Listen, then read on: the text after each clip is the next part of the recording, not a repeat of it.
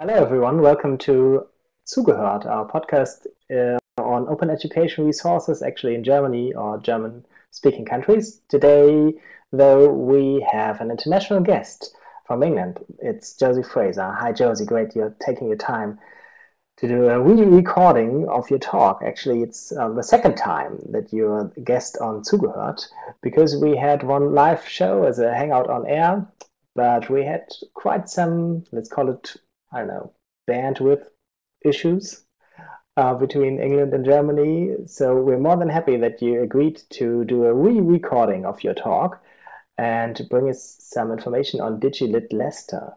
For everyone, uh, the few people out there that are not familiar with Josie Fraser, Josie is uh, working in Leicester on behalf of Leicester City Council. Uh, she's the ICT strategy lead on a project on which we will learn much more about in a few minutes from now.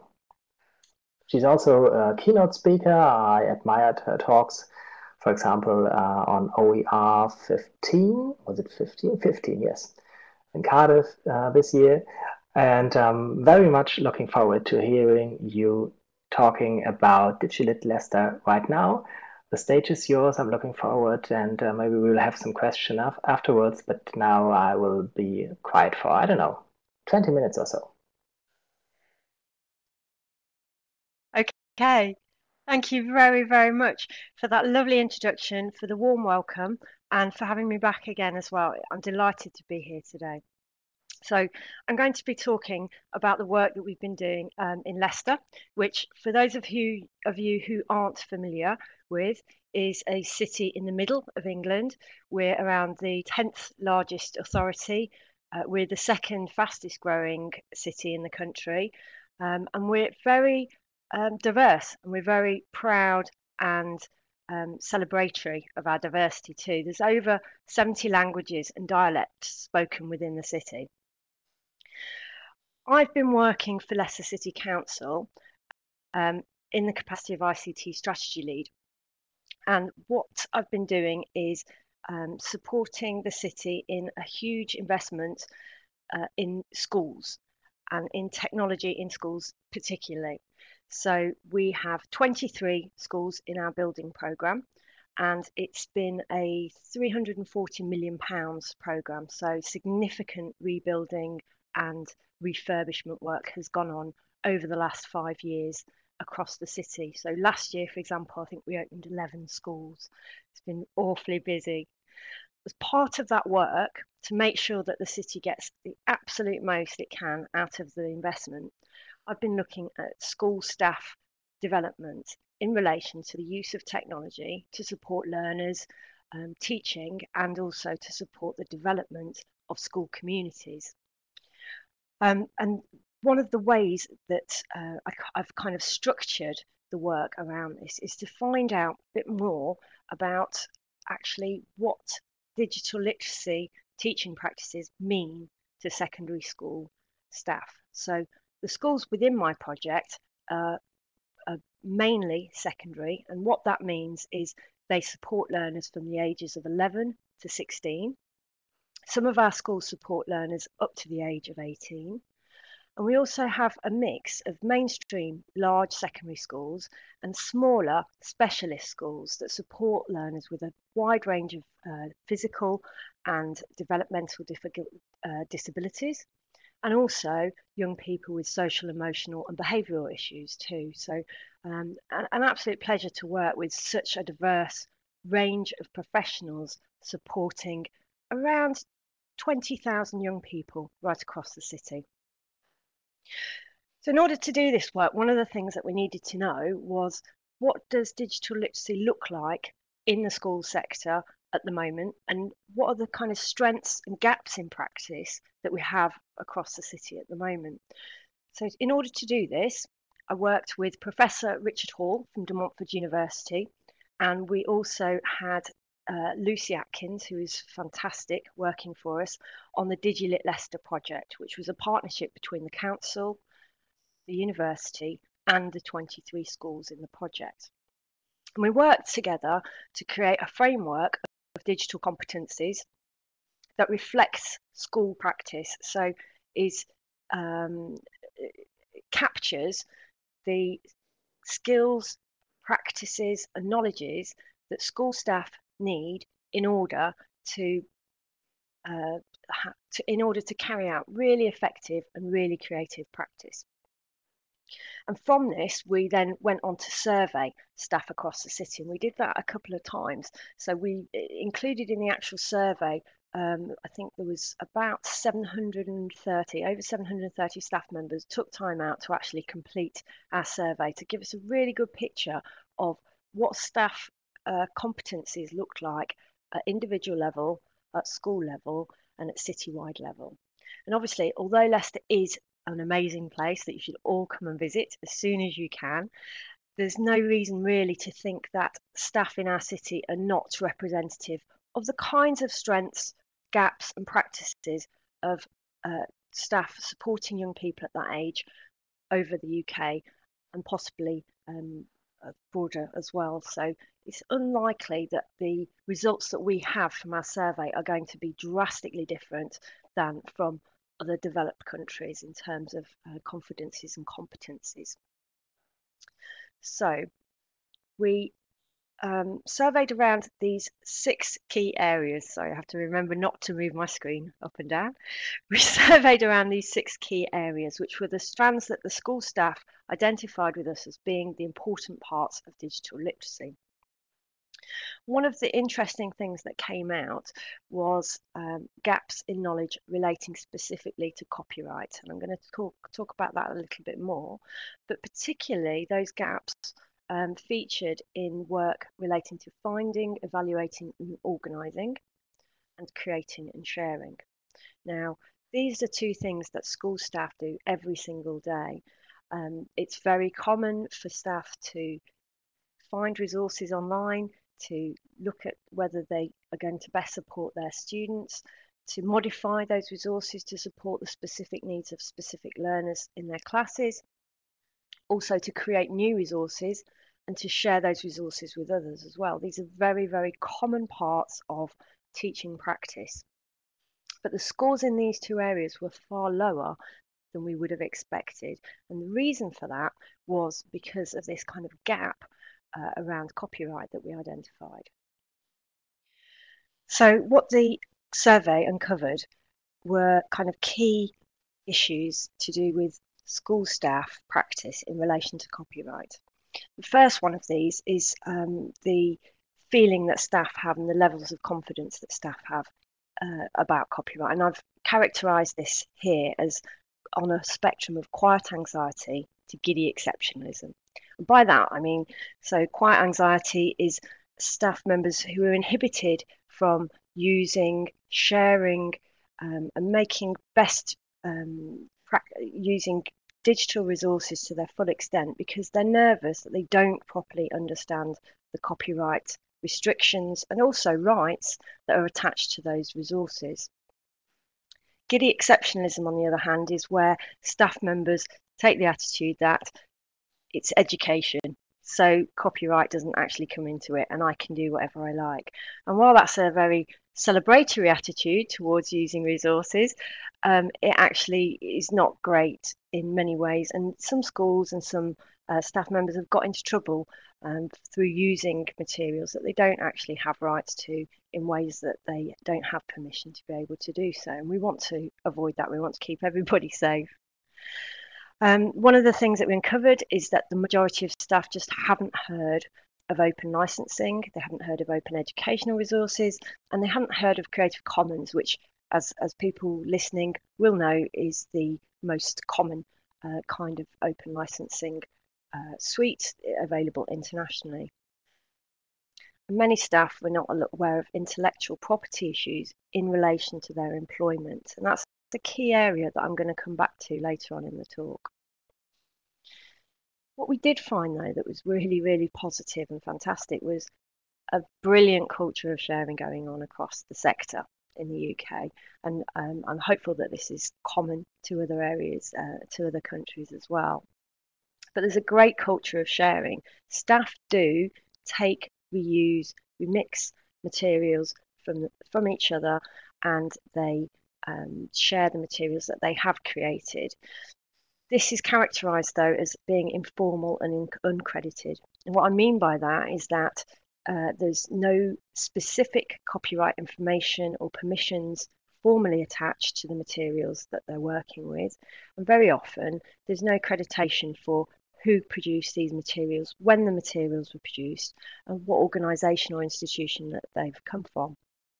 And one of the things that um, I, I, really believe is that this informality actually limits sharing um, because if you're a teacher and you've created a brilliant, effective resource that draws upon other people's um, work, but you haven't credited it, and you're not quite sure where you may have got it from originally, you haven't applied, um, and you're not sure whether you actually have formal permission to be able to use it, then you're not going to be sharing it and promoting it and celebrating it in the same way as you would if you had the confidence about where those materials had come from.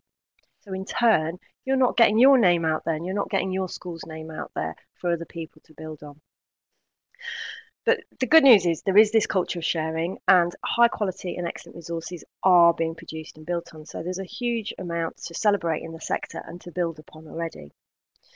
So, how we wanted to take this this really valuable resource forward was to create schools guidance and a suite of practical resources to help staff with um, with open educational resources.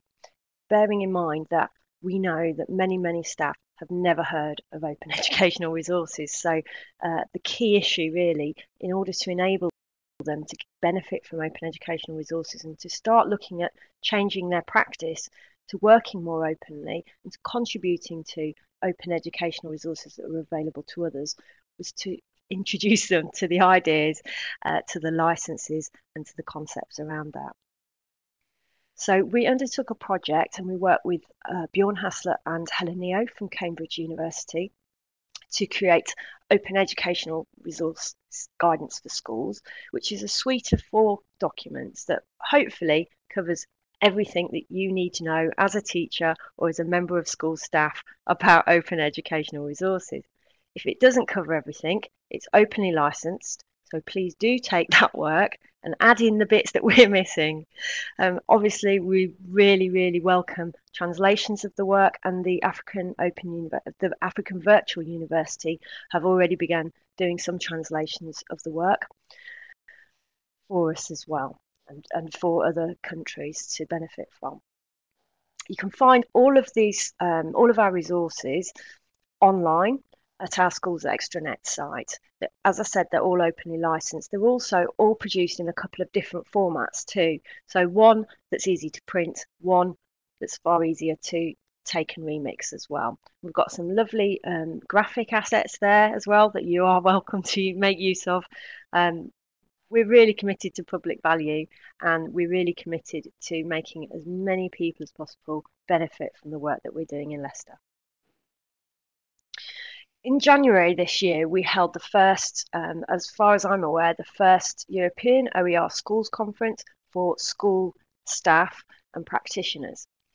Um, it was a brilliant event, really, really well attended, um, and we looked at four specific things within that uh, event. We looked at the basics of what OER is, um, what open practice is, what uh, different kinds of licenses were, and what was available we looked at policy issues, particularly for school leaders and decision makers, in implementing um, policies that would support not just open educational practice, but also support schools in really looking at how they engage with and use and share digital resources, because that's a kind of area that many, many schools have fallen into various practices, but not necessarily taken a strategic approach to reviewing and seeing how they can get the most out of that area. The other areas that we looked at were accessibility. Uh, we're very firmly committed to the idea that openness includes being as accessible as possible. Obviously, part of that is openly licensing materials so that people can uh, modify them to support learners' specific needs. But also, part of that is basic accessibility checks as well, and we did work around that at the conference. And the other area we looked at was the new UK schools computing curriculum. Computing curriculum covers three key areas now in the UK. It's computer science, coding, and programming, and um, uh, digital literacy in terms mainly of e-safety. And what we looked at is how open educational resources and understanding open educational resources really map to those curriculum uh, the, the, curriculum aims and can support learners both at secondary school and at primary school. And indeed, one of the attendees of the OER conference took some of our resources around finding um, items on Flickr and uh, created a suite of lessons for primary school age children that looked at how to find and um, reference open licenses, how to be respectful of people's online um, resources, and how to find and share resources as well. We were delighted with that. One of the other practical um, the other practical resources that we put out was uh, this guide to using Book Creator in Wikipedia that can be used by staff or students alike to create um, topic books on specific areas using text and image openly licensed from Wikipedia. Um, many of our staff never never knew about this function before. They're very excited about it. Um, but please do go look at the school site because there's many resources on there that will be helpful and can be easily adapted to support you and your learners.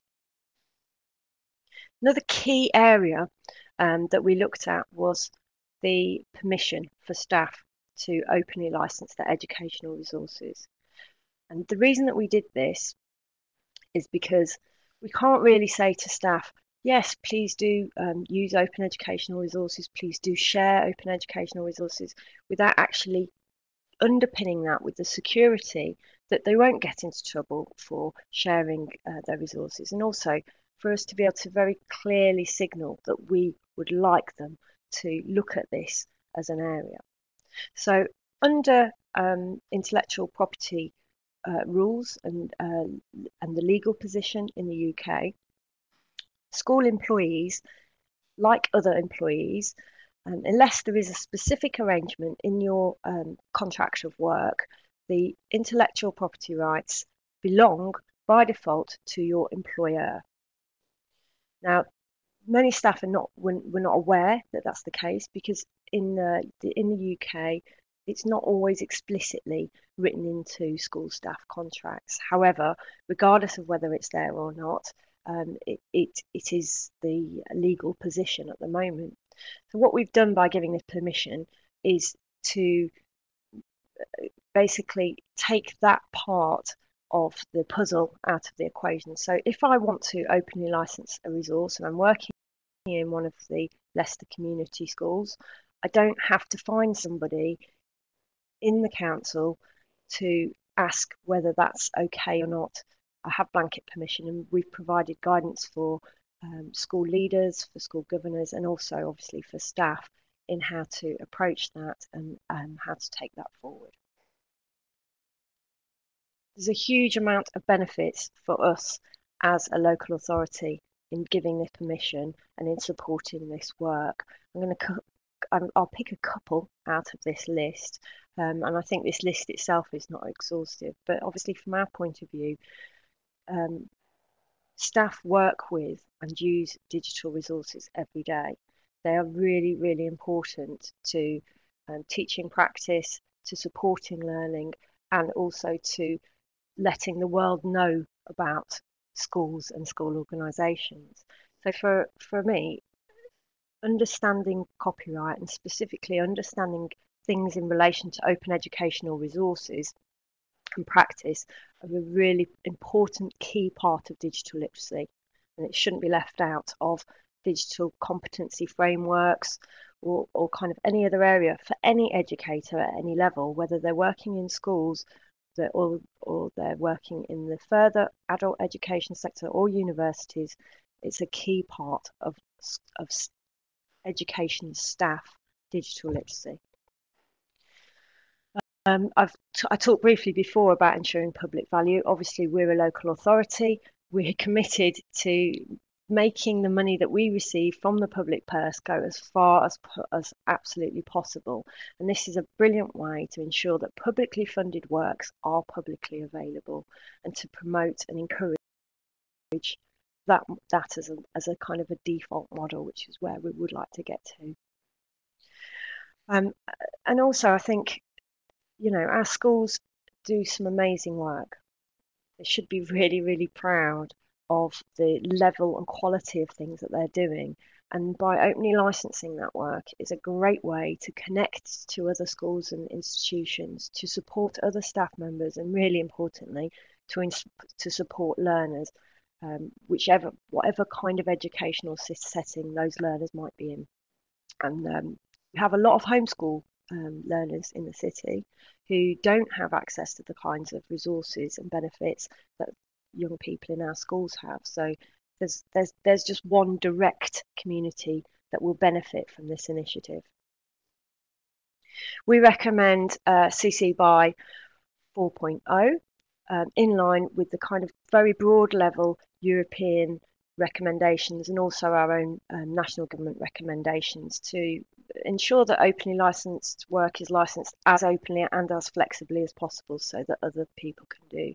And what you can see there is a kind of a, a little, little, example of um, how to uh, properly um, to how to properly uh, accredit work that we've we've just given to help staff and uh, teachers understand. Now, when I, I, I usually show a slide of this kind of equivalent to groups of staff or governors or school leaders when I'm talking to them, and many of them have never seen this before. Many of them have seen this before but haven't noticed it. So, for example, they'll have watched TEDx videos, they'll have watched other openly licensed things, but they will have done so unconsciously and they won't be aware of what this means and, and the benefits that this brings to them. So I always make sure that there's an example of a license and there's an example of uh, license accreditation in any kind of talk that I do. And it's really good to um, support people that are, that are, right at the beginning of that journey, getting started with open practice and open educational resources to take those first steps. In terms of schools, these are the kind of key questions I would want our schools to be asking themselves, and actually the kinds of questions that I would be wanting schools everywhere to be asking themselves. Do your staff know about open licensing? The answer is probably no. So, you know, how are you going to get started on that journey? We've created a lot of resources that can help you with that, but really, um, it is something, especially within the context of digital literacy, that schools have to be thinking of and taking forward. All staff aware of um, the IP conditions of their employment?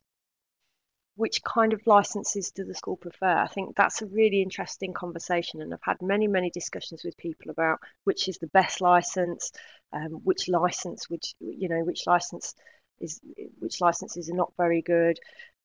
I don't think I don't believe it's a, necessarily a one size fits all solution. I think potentially some licenses are better in some situations than others. But I think the important thing is that we have those conversations, we have those discussions, we think about why we would license under which conditions and what our rationale behind that is. It's a really important conversation. Um, what resources could schools and staff be shown? Because every school will have amazing resources that they can already open license. It's not a question of creating a load of new stuff so that you can engage in open practice. It's really important to review what you already have. And also, how can staff be supported to share work openly? Because um, some staff will be very reticent to share their work for a wide range of reasons, and we need to engage with those reasons. And I'll finish there. Thank you very much for having me to come and talk to you about the work we've been doing. Thank you very much, Josie Fraser.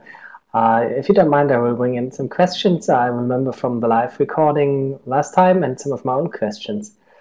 Uh, you were talking about the school staff getting in trouble for using resources in a problematic way uh, in, in former OER times, or not former, the pre-OER times. Um, is and now you have, uh, the teachers have the support of the city council uh, to to openly license their own works.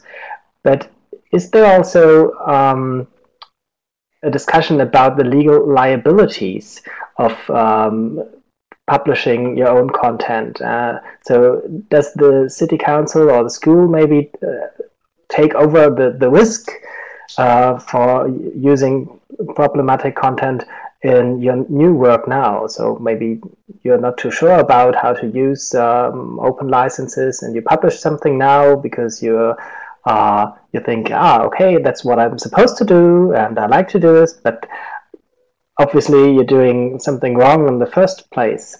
And uh, is this a, still a problem with the teacher, the individual teacher?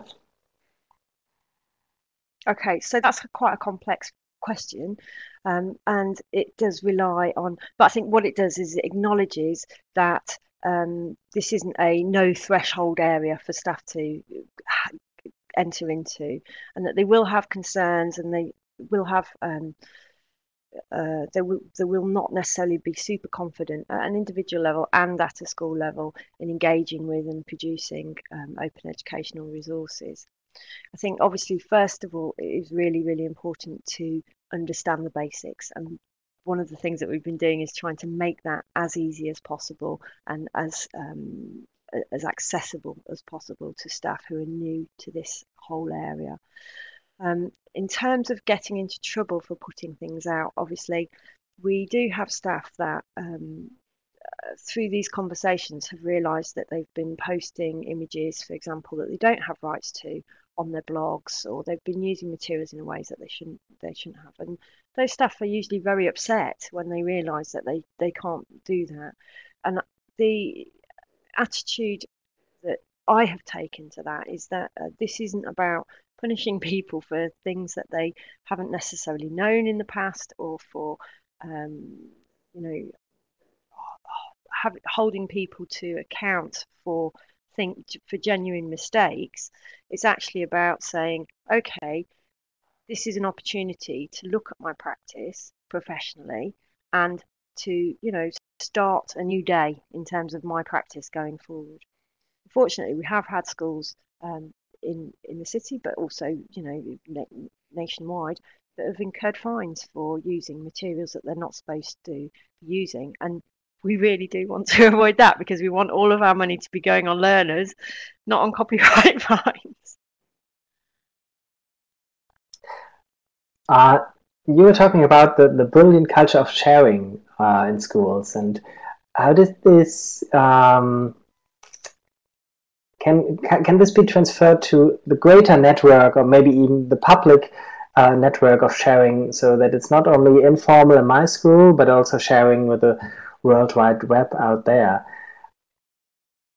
Yeah, and I think to some extent it already is. So what you'll find, I think, is locally things like policies get shared around a lot more because there are strong networks in school leadership in school business managers who will connect to each other and, and do those things actually one of the things that we all want to build is collaboration across schools within subject areas. And that's not just internationally, that is actually locally too, because collaboration, even locally, is very, very variable. But we do know that um, creating resources with a wider range of expertise, with a, a, variety of people feeding into them, can make those resources much richer, much more effective, much more professional, and, and much better for learners in the long run. So, really, the approach that we've taken here is underpinning that strategy to support that kind of collaboration. Yes, internationally, but also locally to to try and strengthen and increase um, connections and sharing and development.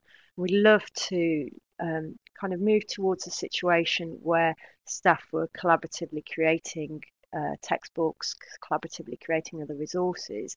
And I think what the permission that we've provided gives is that platform underlying any kind of issues of ownership um, to be able to do that work and then to share it and pass that pass the results of that work on as well. Are there or were there any collaboration with publishers? No, not in ours. But um, I mean, I have talked to um, various publishers about copyright, and obviously one of their concerns um, is around staff understanding of copyright too. They're, they're equally concerned that staff understand those. So in the UK, we have two key school licenses for materials. We have the ERA license, which covers um, film, um, music, things like that, and we have the CLA schools license, which covers a lot of printed material. And those licenses are um, provided to schools through central government funding and give schools a range of freedoms to do things with uh, the works that come under the terms of the license. But they have the kind of same issue with um, staff not having the confidence to know what is licensed, what isn't licensed, what can be done with materials, what can't be done with materials. Um, using moving towards OER is obviously a way of undercutting a lot of those issues because it's very clear on the material itself what you can and can't do. However, um, it's one step, I think, in a larger piece, and I think increasing copyright knowledge in general is is something that we need to do um, nationwide for the longer term as well, because there are materials that are provided to schools that are not provided under open license that are very good, um, but staff may not be using them as well because they're similarly not confident enough. Uh, maybe just one more thing about the the, the educational level. Uh, you were talking about adapting school or adapting resources for, for students with special needs. And that's a huge topic in Germany right now. So how does this contribute to OER, or otherwise, uh, does this OER contribute to this question? Okay, it fundamentally contributes to it in terms of um, being able to, for, for specific practitioners, to be able to uh, customize and tailor materials for their learners. I think another issue is that there is generally uh, legal um, support for the customization of materials in relation to learners with specific disabilities, but these rules don't necessarily extend to a whole class. So if you're teaching in a whole class, you don't necessarily want to differentiate materials for your disabled learners. You may want to produce something that actually looks similar for all of your class. And you can't currently do that with some with licensing restrictions which is a great shame because um, students with disabilities don't necessarily want to have different things in the classroom to the other learners. And uh, learners without disabilities can very often benefit from the affordances of materials that support uh, disabled learners as well. So it's it's absolutely critical as, as far as I'm concerned. Obviously anybody who works in the area of disability knows that even within specific disabilities, there is a huge spectrum of um, need, of, of, of preference, and of, um, of, of, of the different things that that specific makes difficult for that specific learners. So, so the flexibility to actually be able to change things is, is absolutely critical to support all of our learners. In settings where um, in, in non-mainstream settings where the majority of learners have disabilities, those are very, very diverse settings as well. They're, they're incredibly diverse. Uh, it, we, we work with uh, several schools that support a wide range of disabilities and different kinds of disabilities. And, um, you know, all of those learners are very, very different in what they need and what they support.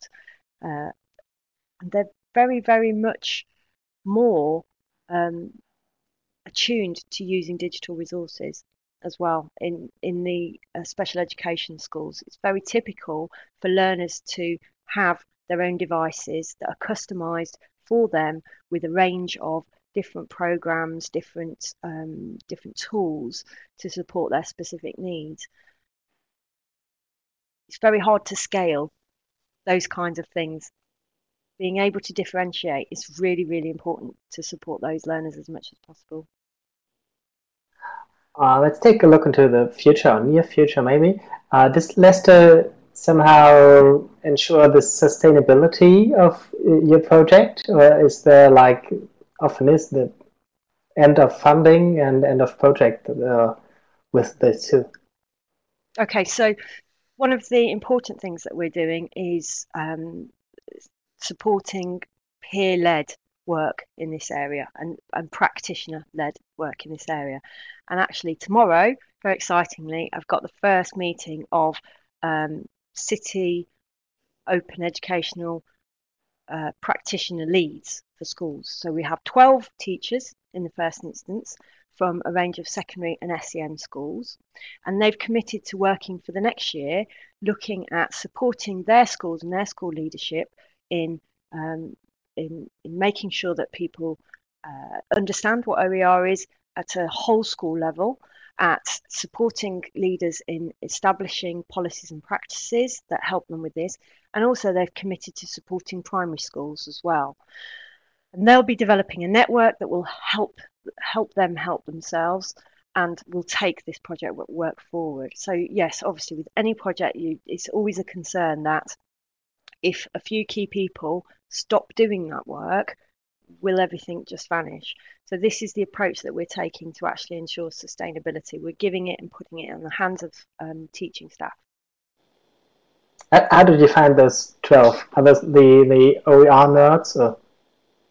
No, no, they're, they're not no nerds at all. We're very thin on the ground in nerds, as in many places. So a couple of the practitioners um, are very interested in this area and actually helped us out on the development of the um, guidance because we did consultation with schools staff to make sure that we were hitting the right kind of phrasing, um, giving the right kinds of information. So a couple we've picked up from there, and they have familiarity with what the work that we've been doing many know very, very little about open education, but they are all committed to the kind of principles of making knowledge accessible to all and to supporting their learners. And that is really driving um, their passion for taking part in this work and this network. It's a fantastic opportunity for them in terms of their own professional development, and it's a great um, group to belong to. So I'm really excited to be introducing them all to each other tomorrow because I think they're going to get on very well with each other. Okay, all the best for tomorrow. One more question just for, for uh, tonight. Um, do you think this is a model that can be, be rolled out across schools across the country or maybe in Europe and in Germany? Yes, I do.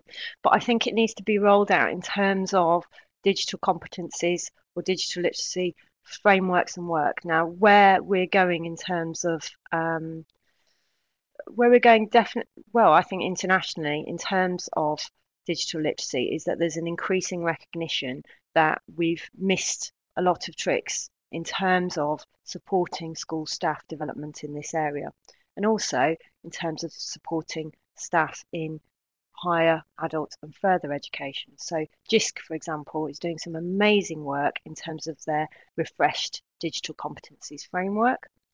Uh, there's been recent announcements from the Welsh Government. Uh, they're, be, they're taking a whole country approach to digital literacy and digital competencies and starting to do work. They've just done an incredible piece of work with the further education sector, and they're looking at extending that to the school sector now as well. I think this is a very exciting time to be involved in open educational resources and excited and passionate about the benefits of open educational practice because um, digital literacy is a really important driver for supporting our learners, for developing our organisations. And OER is a key part of digital literacy. So it's been exciting to talk to you again. So I had the pleasure to talk to you twice and uh, listen to your talk twice. Uh, all the best for your work in the near future and beyond this. And um, hope to see you again on another con conference or maybe see you on the screen for another podcast. Uh, now, first of all, Thanks again. Thanks also to Blanche Hartley, who has been our producer in the background. And bye bye to everyone.